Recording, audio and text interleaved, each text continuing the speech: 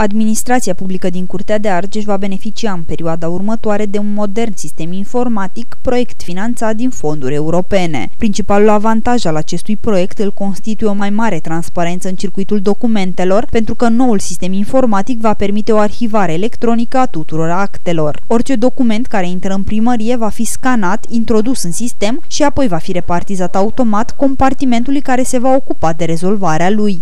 Acest sistem contribuie totodată la creșterea gradului de încredere a cetățenilor și societății în capacitatea instituției de a furniza servicii de calitate.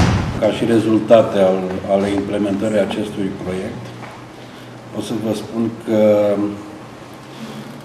s-a făcut o instruire specializată a funcționarilor din domeniul, în domeniul sistemului de management al calității. În acest sens s-a desfășurat un curs în domeniul calității în administrația publică.